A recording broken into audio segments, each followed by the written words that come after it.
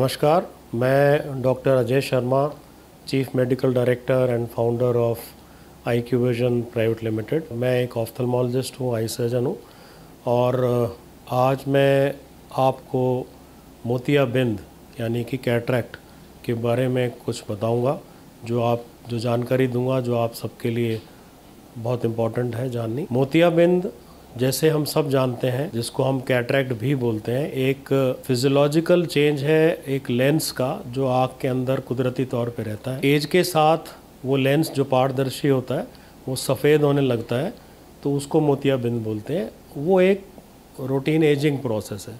लेकिन यही मोतियाबिंद जब उम्र से पहले आ जाए तो एक किस्म से बीमारी है। ये मोतियाबिंद पैदा होते ही बच्चों में भी हो सकता है।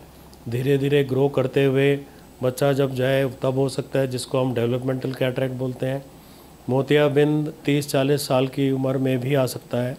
मोतियाबिंद उन सब लोगों में ज़्यादा आ सकता है जिसमें किसी और किस्म की कोई बीमारी हो, जैसे कि डायबिटीज़ मलाइटिस शुगर की बीमारी। अगर कोई अनकंट्रोल्ड हो तो आँखों के अंदर मोतियाबिंद जल्दी आ जाता है। कुछ जो बहुत मोटा चश्मा पहनते हैं हाईली मायोपिक जो होते हैं उनमें जल्दी आने के चांसेस होते हैं। मोतियाबिंद किसी ट्रॉमा चोट लगने के कारण भी बन सकता है, जिसको हम ट्रोमेटिक कैटरेक्ट बोलते हैं। और मोतियाबिंद किसी आँख की और बीमारी के कारण भी हो सकता है, जिसको हम कॉम्प्लिकेटेड कैटरेट बोलते हैं।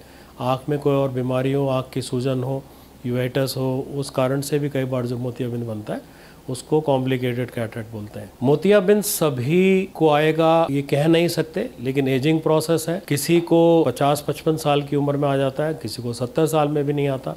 बट हाँ अक्सर ये देखा गया है कि जो पहले ये रेंज जो एज ग्रुप था, वो तकरीबन साठ पैंसठ की उम्र के बाद शुरू होता था। अब वो थोड़ा अर्ली आ गया सात आठ साल पहले लोग अब इससे ज़्यादा कंप्लेंट लेके आते हैं। इसकी जानकारी होना ज़रूरी है, लेकिन उसके साथ साथ आपके लिए ये जानना ज़रूरी है कि आपकी आँखों की जाँच साल में एक बार 40 साल की उम्र के बाद ज़रूर होनी चाहिए, ताकि क्या आपको कोई चश्मे का नंबर है, या आपकी आँखों का प्रेशर बढ़ा हुआ है, या आपके पर्दे के अंदर कोई तकलीफ़ है, या आपको मोतियाबिंद है, ये उस जाँच से पता चल जाएगा।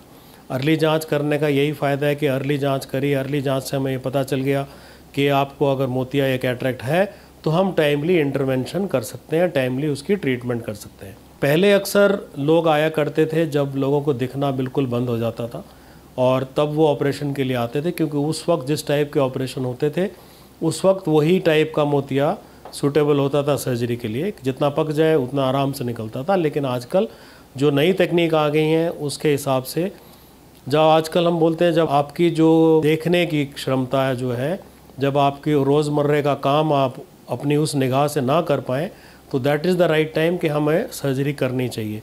वो नहीं है कि बिल्कुल दिखना बंद हो जाए तो हम सर्जरी करेंगे। ऐसा नहीं करना चाहिए।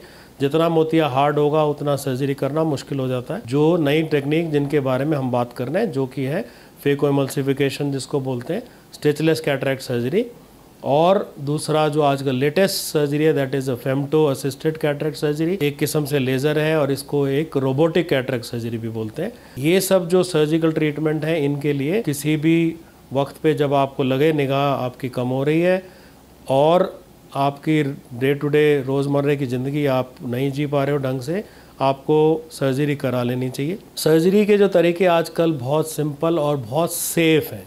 सबसे बड़ा इंपॉर्टेंट चीज़ होती है पेशेंट डरता है कि सर्जरी के नाम से ही कि मुझे कुछ ऑपरेशन कराना है सर्जरी करानी है तो क्या होगा मेरा? तो ऐसा नहीं है, आजकल तरीके बहुत सेफ़ हैं। बहुत आराम से हम ऑपरेशन आजकल कर सकते हैं। और जिसको मैंने बोला फेको इमल्सिफिकेशन ये स्टिचलेस कैटरेक्ट सर्जरी होती है। हम इसमें कोई टाका नहीं लगाते, कोई टीका नहीं लगाते, आँख के अंदर कोई बहुत लंबी पट्टी नहीं लगते, और पेशेंट को थोड़ा सा पैच लगा के घर भेजते हैं। दो घंटे के बाद पेशेंट की ड्रेसिंग उतर के और पैच जो उतार देते हैं और पेशेंट अपना रूटीन काम कर सकता है। और इसके साथ साथ आपको ये जानना ज़रूरी है कि इन ये टाइप ऑफ़ दूसरा जो मैंने बताया रोबोटिक सर्जरी के बारे में, उसमें मेनली जो स्टेप्स होते हैं कैटरेक्ट सर्जरी के, वो रोबोट करता है एफ़ टू लेज़र करती है।